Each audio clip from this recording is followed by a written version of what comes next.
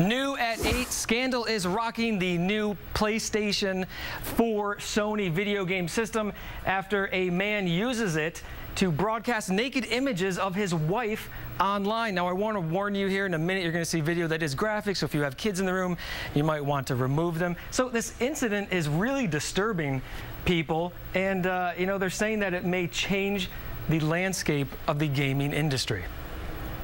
The live online PS4 stream started with this man drinking on this couch with his wife. She eventually passed out. After a while of semi innocent messing around with her, he took her shirt off and exposed her breasts for about 15 minutes. Anyone tuning in could see her naked top half during that period of time. Then the video stream went dark. After about 10 minutes or so, it came back and she is completely naked, still sleeping, presumably stripped by the husband.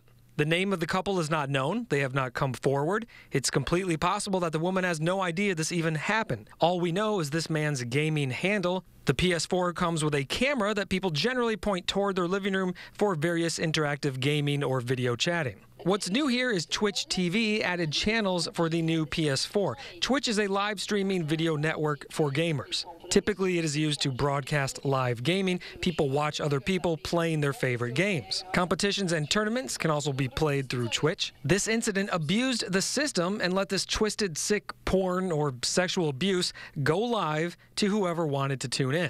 Twitch did a great job immediately responding to this and has banned the man from Twitch who did this. They also told their users they will have a zero tolerance for anything broadcasted other than innocent gaming. But there is a larger problem here. There's really no way to prevent such content from getting out there in the first place. And of course, this worries parents of young gamers who now have access to this new form of live self broadcasting. Gabe Slate, KRON 4 News.